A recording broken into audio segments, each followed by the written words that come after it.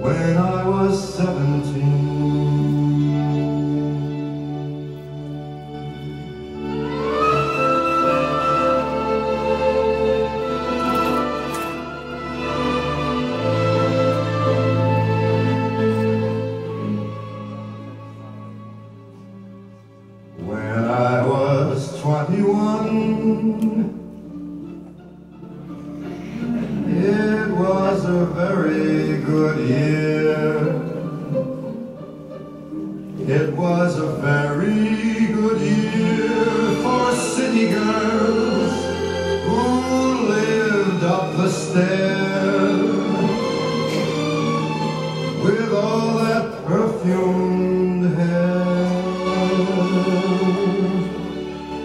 I came.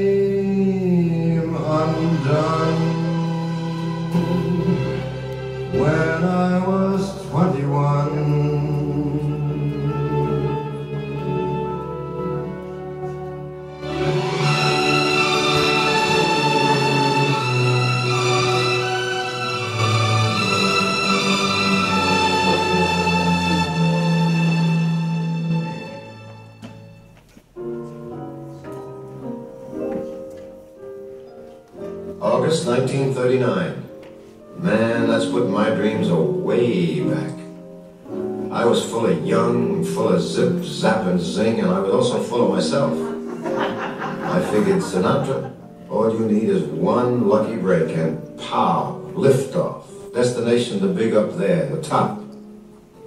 And break number one came a riding in on a wave of solid gold trumpet notes. Mr. Trumpet himself, Harry James. And here's the first bone that got tossed me in my favorite world, the world of recordings.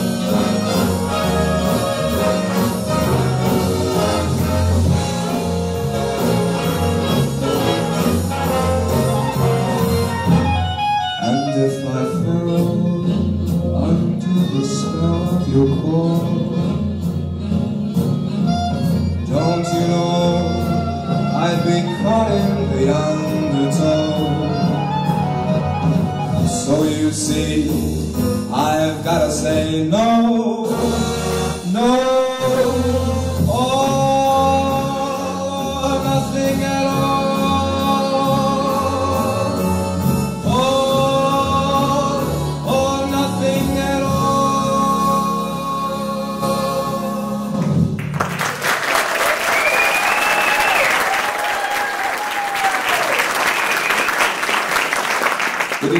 This is Frank Sinatra back for another evening of acceptance and love.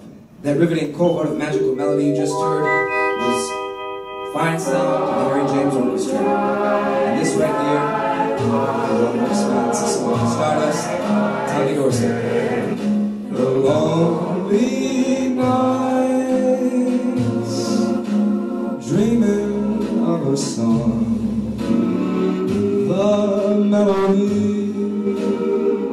Haunts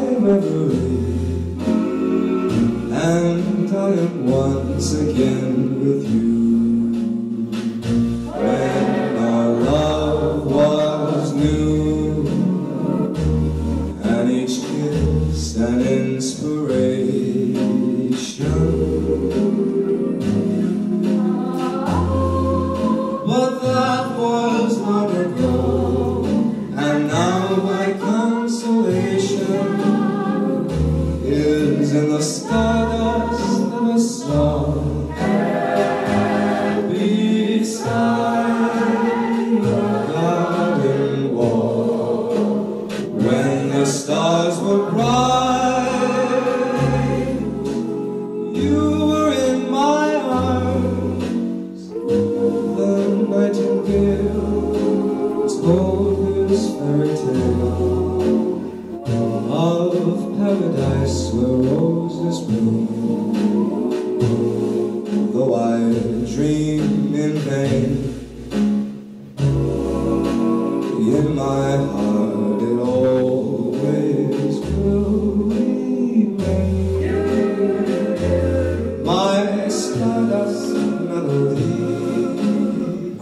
Friends,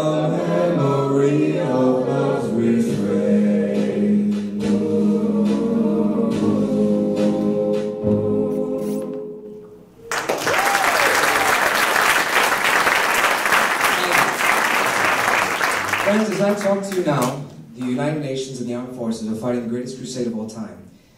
A fight to free the world of oppression and slavery. And unfortunately, it's with dismay I must tell you that I was classified as 4F due to perforated eardrum. I could not serve. However, I felt it be my civic responsibility to serve the American people back at the home front and across seas with music. Ladies and gentlemen, this is Saturday Night is the Loneliest Night of the Week.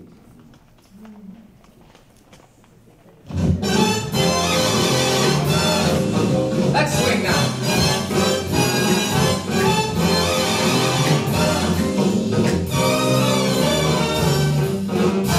Saturday night is loneliest night of the week.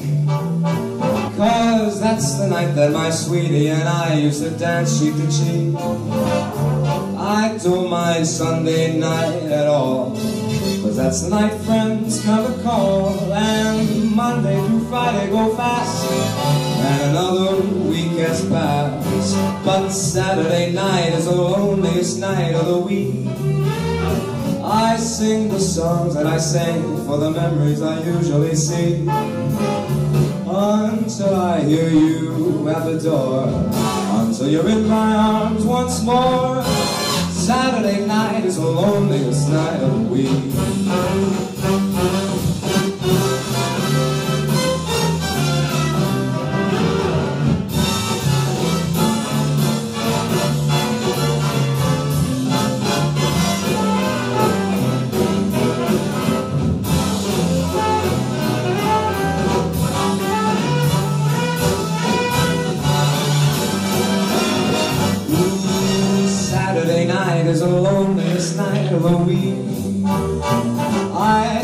Songs that I sang for the memories I usually see.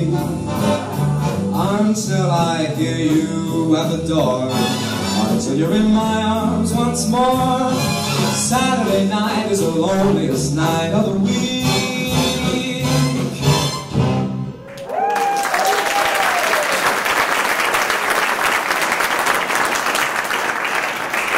October 12th, 1944, known historically as the Columbus Day Riot. 30,000 Bobby Soxers stampeding New York City, hungry for a Sinatra sandwich. Man, I still get nightmares. You know, in fact, my manager used to be in the back of the auditorium, shouting, trying to get the energy up for the girls. It wasn't needed. I opened my mouth, a few bars in the whirl when, thunderbolts and lightning, very, very frightening. But I loved every minute of it. And I knew from then on out, I couldn't stop. I was hooked, baby. Hooked. Yeah.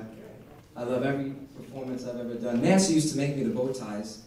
I'd throw them into the audience, and then the girls would take them and rip up my clothes, and I'd try to escape to the back of the theater. No use. I'm not complaining. this is all of me.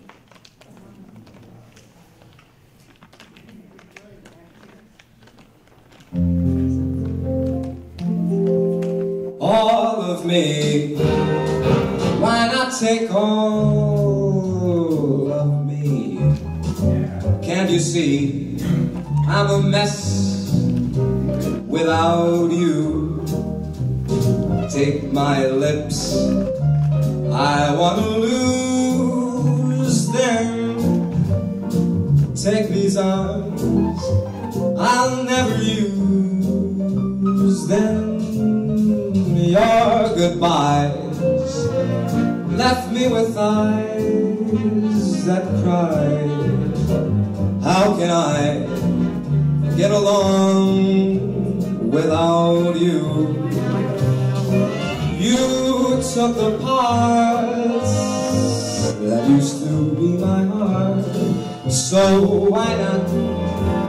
Why not take all of me? Ain't very much though. All of me. Come on, grab all of me. I'm a wreck without you? Take my lips. I want to lose them and get a piece of these arms because I'll never use them. Your goodbyes, they left me with eyes that cry. Tell me, how can I ever make it without you? You got the parts that used to be my heart. So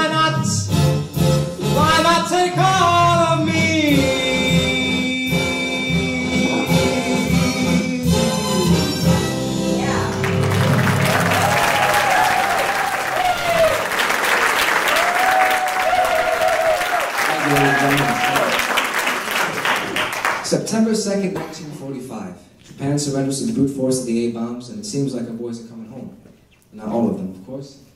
This next ballad I'm going to sing, one of my favorites, was written by Canadian songwriter Ruth Lowe, who lost her husband in war. This is I'll Never Smile Again.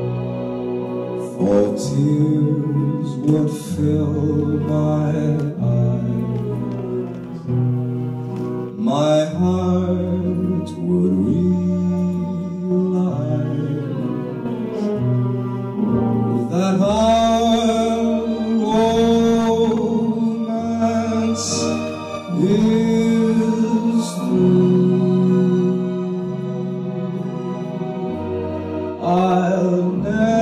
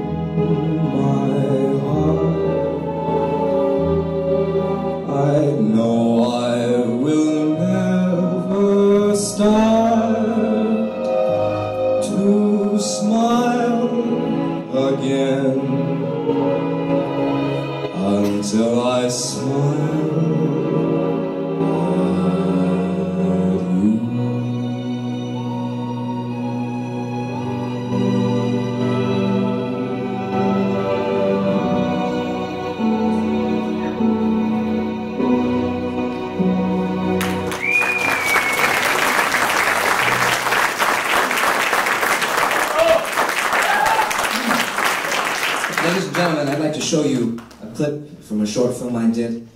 In 1942, I decided to go on my own, solo. Mr. Tommy Dorsey wasn't a big fan of that idea, but we settled it. Now, it was tough because there were other singers who I thought might give it a shot as well. It was Crosby, it was Como, Dick Haymes took my place, and now I did the right thing. I got in the motion picture business. The first film I did was Higher and Higher in 1943, and then I went on a spree with Gene Kelly. I was born with two left feet, but he was a good teacher. With MGM and all the other Columbia, I met singers, songwriters, other actors, made connections, did radio shows. I think I had it all figured out. But this one film I did, it was a short called The House I Live In, one of the most humbling experiences I've had in my career. Take a look at it clip.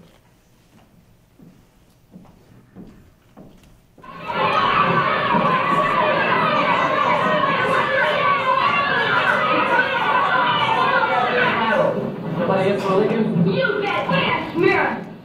Yeah, but ten against one. That's not very fair. Ah, come on, come on. What's it all about? None of your business. Scared to tell me? No, I'm not scared. I'll fight you in. Not if I can help it. I just want to know why the gang war. We don't like him. We don't want him in our neighborhood or going to our school. I've been living here as long as you. What's he got, smallpox or something? We don't like his religion. His religion. Look, mister, he's a dirt. Now, hold on. I see what you mean. You must be a bunch of those Nazi werewolves I've been reading about. Mister, are you screwy? Not me, I'm an American. Well, what do you think we are? Nazis? Don't call me a Nazi. My father was sergeant in the army. He was wounded even. Wounded, huh? Say, I bet he got some of that blood plasma. He was wounded so bad he had to get it three times. Son, anybody in your family ever go to the blood bank? Sure, my mother and my father both. Uh-huh. You know what? I bet you maybe his pop's blood helped save your dad's life. That's bad. What's bad about it? Well, don't you see? Your father doesn't go to the same church as his father does. That's awful. Do you think maybe if your father knew about it in time, he would rather have died than to take blood from a man of another religion? Would you have wanted him to die? Would your mom want him to die? No. Look, fellas, religion makes no difference. Except maybe to a Nazi or somebody as stupid. Why, people all over the world worship God in many different ways. God created everybody. He didn't create one people better than another. Your blood's the same as mine. Mine's the same as his. Do you know what this wonderful country is made of? It's made up of a hundred different kind of people. and a hundred different ways of talking, and a hundred different ways of going to church. But they're all American ways. Wouldn't we be silly if we went around hating people because they comb their hair different than ours? Wouldn't we be a lot of dopes? My dad came from Italy, but I'm an American. But should I hate your father because he came from Ireland or France or Russia? Wouldn't I be a first-class fathead? You guys remember Pearl Harbor? Why, the Japs socked us so it looked like we could never do anything about it. But a couple of days later, something very important happened. Close your eyes, let me tell you about it. Come on, come on, close your eyes, all of you. I want you to imagine. There was a Jap battleship, the Haruna, and one of our planes spotted it. Do you know what it takes to bomb a battleship? It takes guts, and know-how, and teamwork.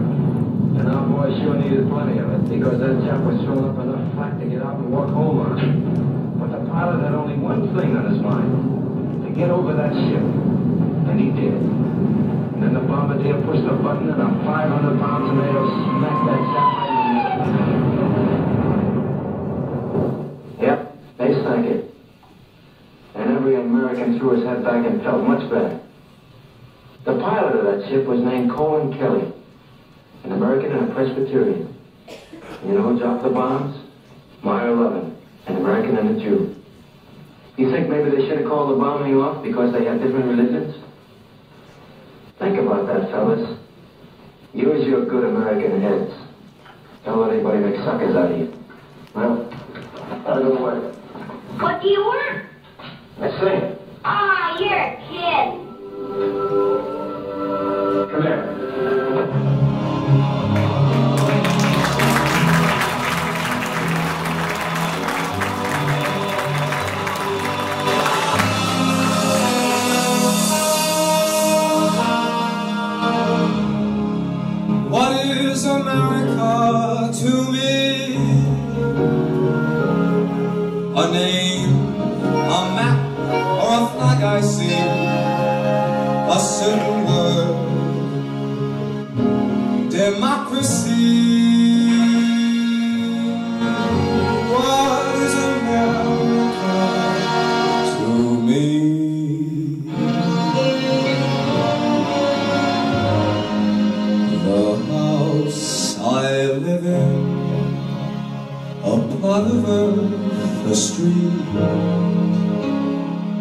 Grocer and the butcher, and the people that I meet, the howdy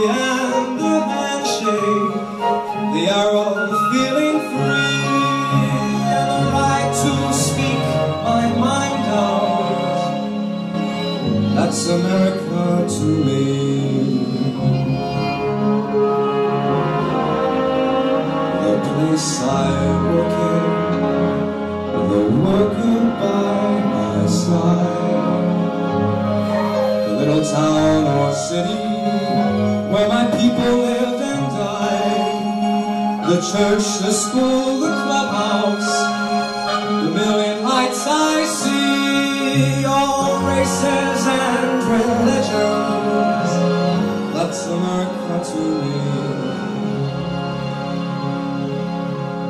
The things I see about me, the big things and the small, the little corner newsstand or the house a mile tall. The rains and the churchyards, the laughter and the tears, the dream that's been a growing for 250 years. The place I live in, the street, the house, the room, the pavement of the city, or a garden all in bloom. The church, the school, the clubhouse, the million lights I see, but especially the people.